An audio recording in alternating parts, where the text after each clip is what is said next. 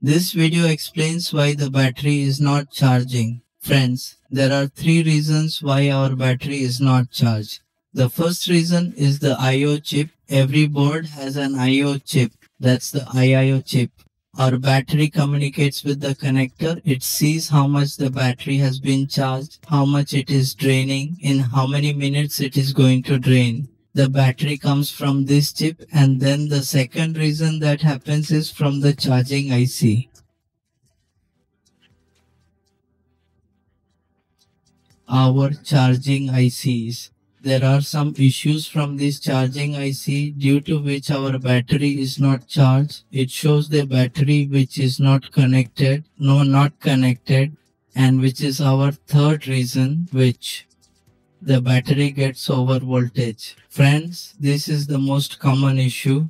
The battery gets over voltage and the second common issue which is our charging. These two problems are related to charging. And the first thing I told you about the IO chip, they are very rare cases friends. Let me tell you about the over voltage then the battery gets the over voltage which is our 19 volts for example as you can see here in the battery.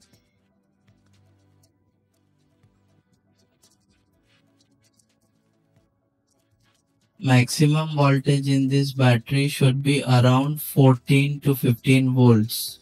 But what is our charging charger is the voltage of the charger if we apply it like here So direct which is 19 volts reaches to this connector of ours. Then the problem in it is the third reason that I have told you. This is the same problem in it. So today I will teach you as the name on my channel is repair knowledge. So I will give you this information. How do we fix this condition? Guys, let me put this charger and show you the voltage at our charger battery connector see how much is coming. So if I show the voltage at over here the largest pin which is ours this is our ground. Have you ever noticed that on our battery connector the connector of the battery is on the motherboard? There are two pins which are quite big. Then these two pins which are big big pins which are our ground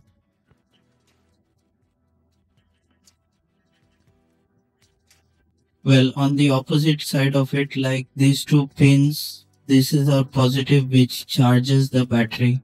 So as I put on it then there you can see that our 19 volts is starting to show which is our battery which is the voltage of our charger.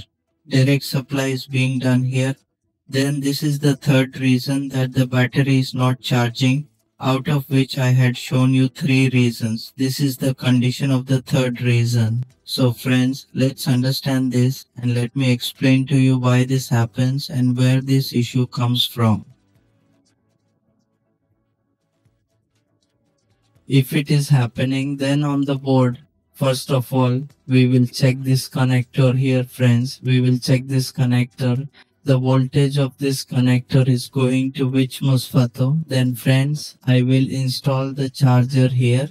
I have installed the charger here and after installing the charger if I show you the voltage here then the voltage here which is our 19 volt which is coming okay? So 19 volt is coming and the name of this connector is DC1 Okay, so we will come to the schematics friends. We came to the schematics and here we will hit the search. DC in 1 I have searched here and found it.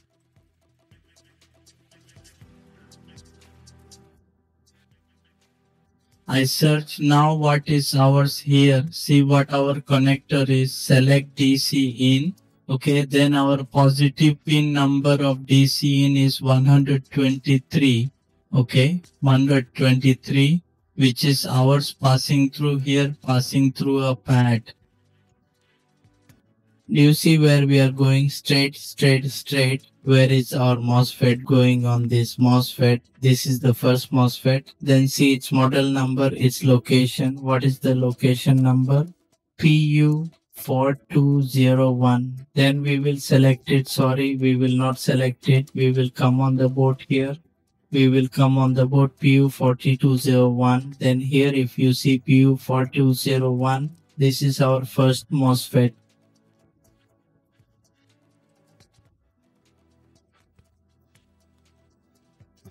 So the voltage will come on this EM MOSFET, okay? It will pass from here, it will come on here, okay? Our voltage is coming on here and we will check on its gate. Then at such gate, which is 3.7 volt is coming. This Q3.7 is coming upside down because this is P channel. If we come to the schematic, then here, if I tell you then what is P channel is our MOSFET this MOSFET is P channel because it is P channel. How will you identify P channel? This is our gate, okay, on this 4 number pin, which is 3.7 volts is coming.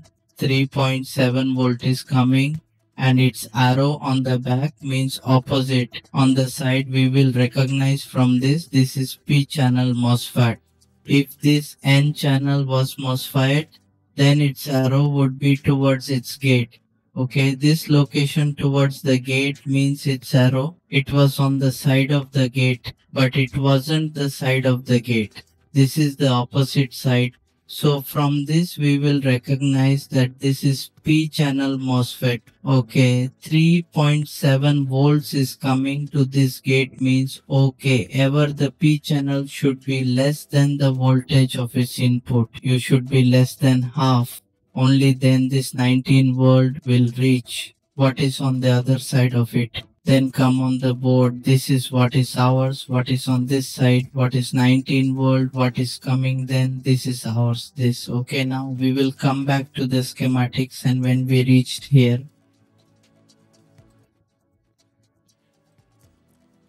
Now here our voltage has come on this side. Now the voltage has come on this side. Then we will select AD.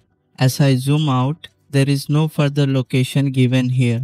Where has the voltage gone? Then we will select it and search for it. Then friends, I select it and enter it. If I do a search, then look here, this is not what you want to see. You have just searched here. That is what is showing this look guys. That voltage has now come over here, right? That voltage. That voltage has now come to here where you can see that voltage has come to here and has gone through here towards this MOSFET. So what is the number of this MOSFET?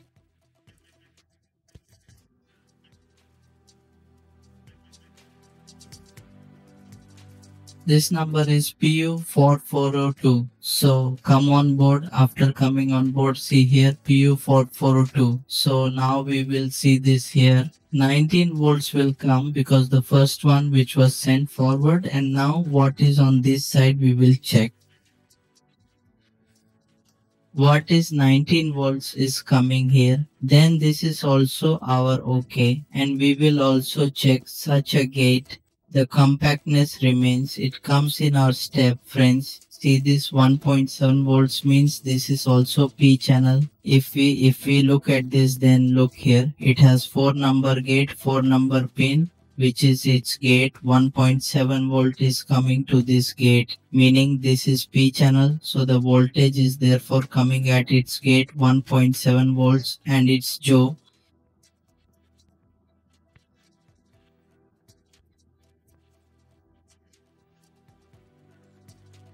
the voltage of which is here is now passing over here okay? The voltage here is passing over here because at its gate which is 1.7 volts is coming friends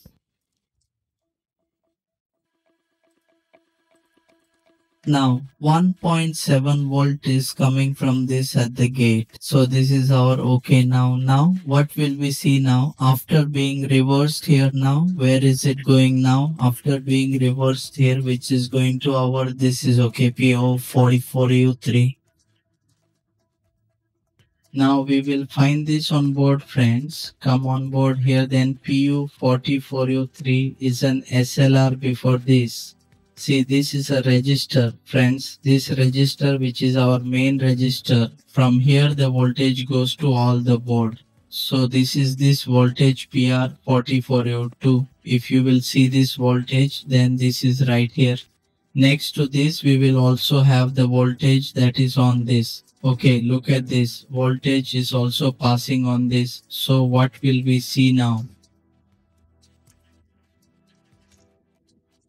Now we will look at the MOSFET that I showed further. See this PU4403. So what is on this side of it? We will check. So PU4403. This is here. You can see PU4403. So what is on this side of it? Our voltage is coming. Okay. And what is on this side? Friends voltage is also coming. Like what is at the gate? Like voltage is coming at the gate. Then this is what is the MOSFET friends. It also has 19 volts at its gate it is also coming on the drain. Even if it is coming to the source, this should not happen. Why shouldn't it be? I'll explain to you. Now here is what you understand. Here you have to pay a lot of attention. Friends, because those who are fresher are friends.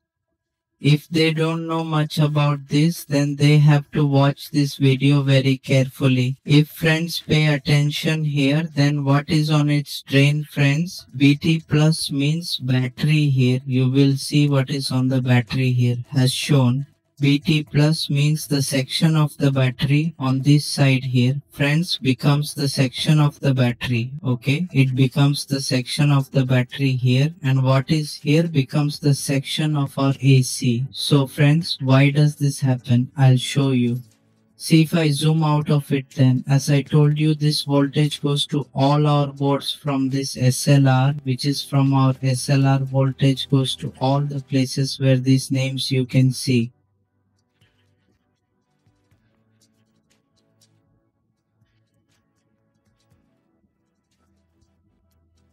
What is this name? You can see this name. From here the voltage goes to the whole board from this side of SLR when will the voltage go from here? When sitting when the charger is connected then here it is 19 volts. 19 volt means 19.5 which is the volt of the charger that voltage will be present here and as soon as we remove the charger then friends one thing happens here. As soon as we remove the charger this is our daughter's teaching. The voltage of this section of the battery comes from here to here. Okay then voltage goes to all our boards from here. What will this MOSFET do here? When the charger is plugged in? Will block it, will block the battery section. The voltage of this battery section will not let to come here okay when it will block and when and when the charger will be installed when the charger will be removed then this is the voltage of the battery which is our mouse spread over here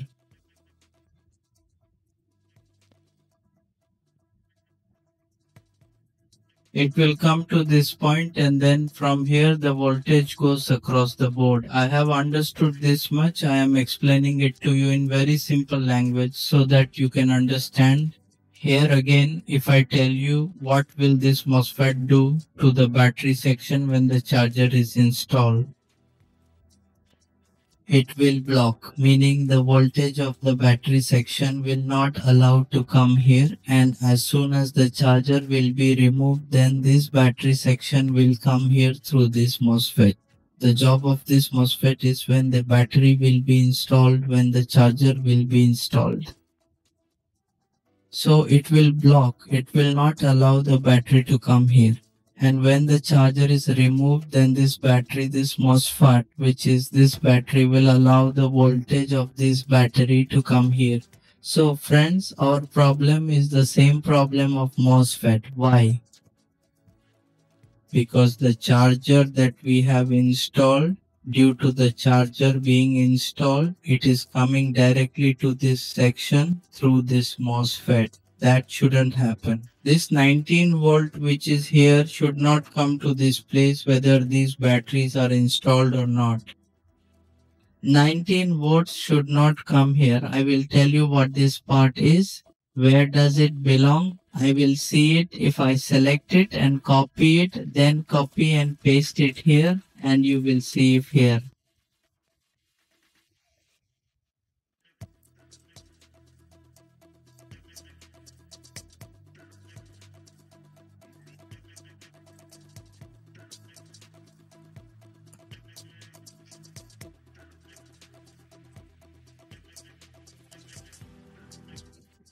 If you will see here friends, then this is our MOSFET switching mode for charging our battery from here. Here we have two MOSFETs that charge the battery. So here this is the present here. From here the voltage goes to our connector of the battery. So this is our MOSFET. This is our MOSFET. This is our bad. I will also show you. See this. If I check it, see this. I put it on diode mode. Look at the multimeter. I have put it on diode mode. And if I will check it,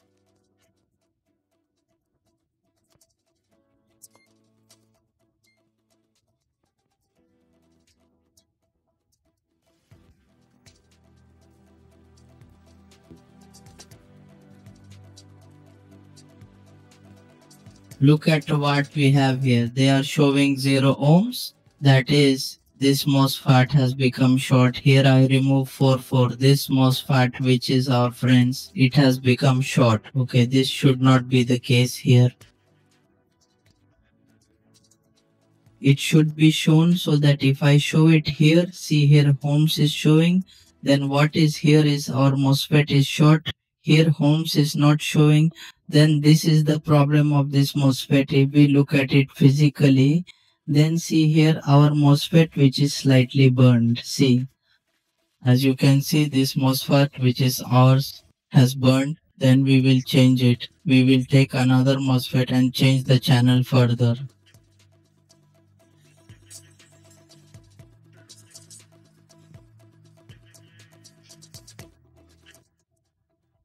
Can see I have changed this MOSFET. So here if I show you the ohm, then see our ohm which is equal to 400. Okay.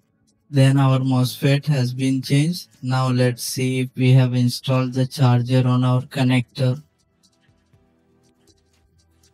how much volt is coming? 3m has installed the charger on the connector. Now we will check how much voltage is coming. Then it has been set on our voltage range. Now see here our voltage has decreased. Okay so this is our voltage has decreased. And if I show over here see here our 19 volts is coming.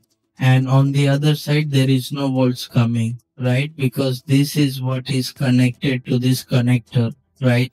Charging for charging to happen when we will charge, then what is here will be on to be charged. Now the voltage at here which is draining, okay?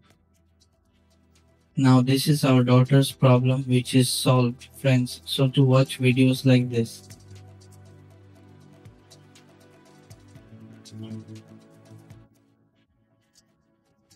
subscribe to my channel and you will continue to get such informative videos and our course has started that course series has started. So if you want to do some course and watch the course then go to my channel and check it in the playlist. There's a video there. So thank you friends for watching the video. Bye bye. Until then in the next video